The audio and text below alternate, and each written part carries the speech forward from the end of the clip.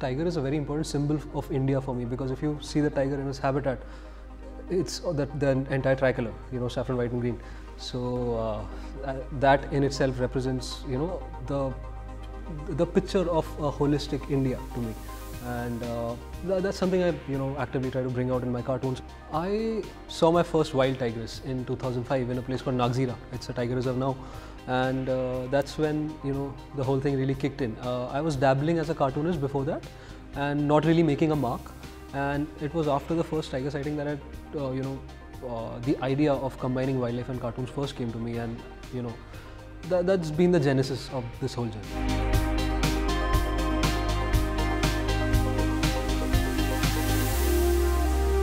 I don't think I'm doing anything special because it's so deeply and so, you know, uh, closely interconnected, you know, environment and politics that I don't think I'm doing anything special. It's just peop people's perception of the whole matter. And I know a lot of people who are kind of okay with ignoring the political side of it and just, you know, pretending to love wildlife like nothing is wrong. And that's, uh, you know, that doesn't go together for me.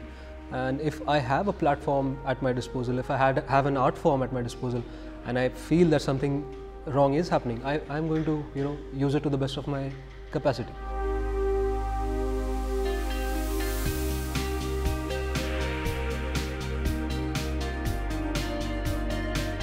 There's this particular one about the cattle egret, which turns saffron in its, in its breeding uh, colors, and it's called you know how to uh, dress saffron without uh, you know without creating a ruckus in the country. So yeah, yeah, yeah. So I, I use saf- saffron in animals as a you know as a visual metaphor and a lot. And there's several ones like the, like those about development projects that are, uh, in my opinion, ill-conceived and you know have been uh, uh, brought into action without the consultation of conservationists and uh, you know mitigation experts.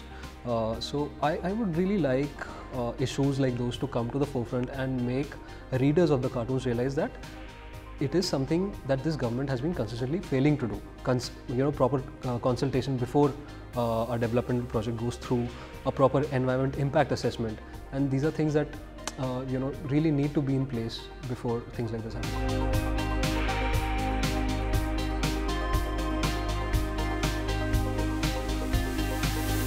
I get trolled and you know very negative and harsh remarks these days. I think the general uh, capacity of the government to take criticism positively is diminishing, and I think that's a that, that's a bad sign for uh, you know a cartoonist and anybody in my line of work if it's even even if it's written satire. So I would like to quote Jawaharlal Nehru on this. You know when he was uh, the Prime Minister of India and K. Shankar was uh, you know doing cartoons. Uh, he famously said to Shankar, uh, Shankar, do not spare me. To have that come out of a prime minister is huge, and you can't even imagine that kind of creative freedom in these times. So, it is a space that we as uh, commentators of different kinds need to reclaim. Being somebody who deals with humor professionally is a, a great lesson in anger management because it teaches you a lot of patience, it teaches you a lot of, you know, um you know the, the art of ignoring. Uh, is something you learn over time. So, so, so yeah, I, I think that that's really helped me. Uh, being a cartoonist is kind of also helping me shape my character in cer- cer- certain ways I wouldn't have imagined.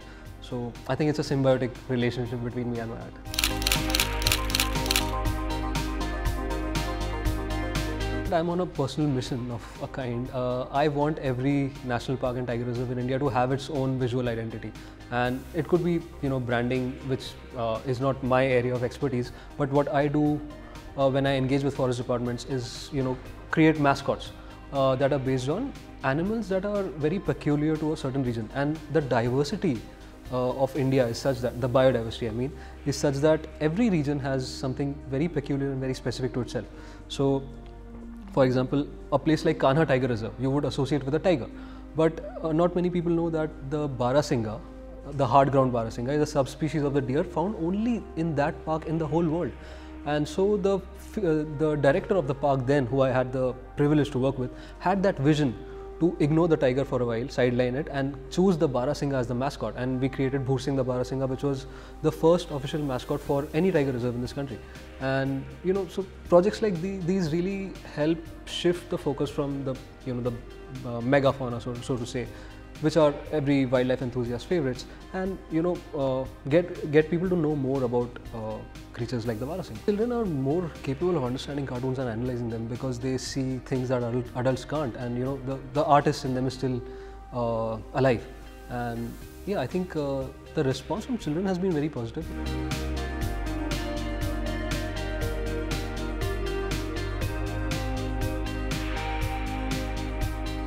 Are my favorite subjects as a cartoonist because they kind of exude a, a certain character, a certain mischief, which is my, you know, my most favorite quality to look in a muse. So they ex- exude a kind of mischief that I don't think other animals do. So, uh, well, uh, so like for example, uh, one I can remember is this cartoon about a cormorant.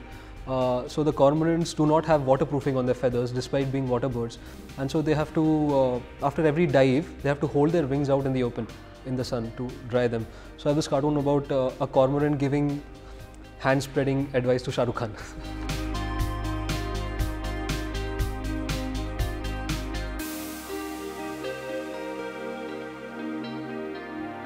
I would say a lot of uh, cartoonists uh, should first learn to laugh at themselves and then make the rest of the world laugh. And learning that is a tough process.